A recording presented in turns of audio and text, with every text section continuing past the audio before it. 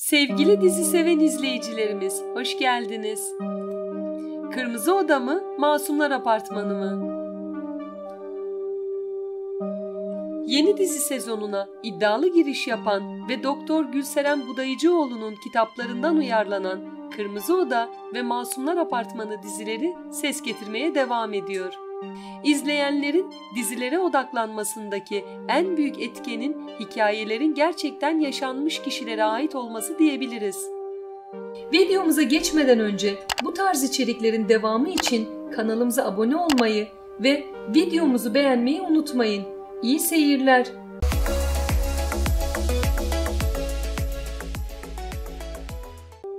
Kitaplarında danışanlarının hikayelerini ön plana çıkaran ve hikayeleri olduğu gibi yansıtan Doktor Gülseren Budayıcıoğlu kitaplarının senaryolaştırılmasından ve ekranlara gelmesinden oldukça memnun.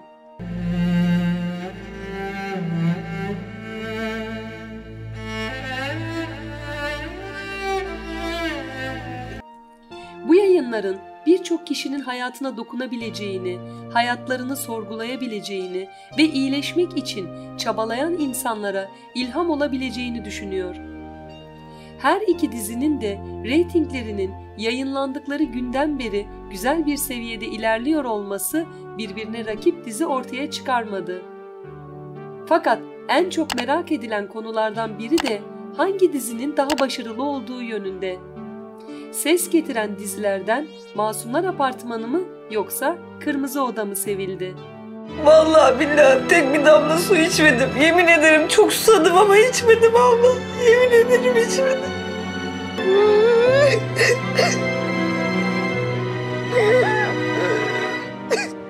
Sizce hangi dizi gerek hikayesiyle gerekse oyunculuğuyla daha güzel?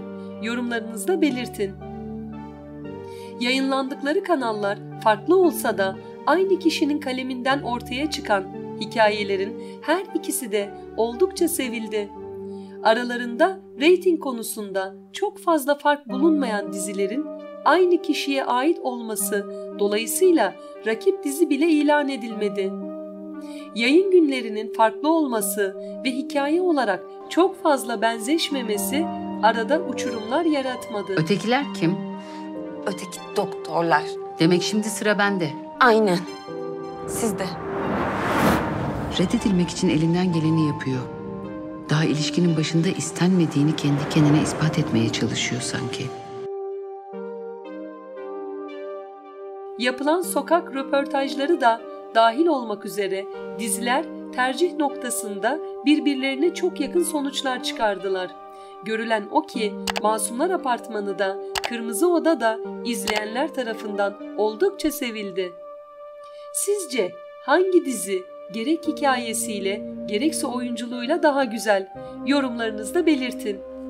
Videolarımızı beğeniyorsanız ve yeni video eklediğimizde ilk siz haber almak istiyorsanız kanalımıza abone olun.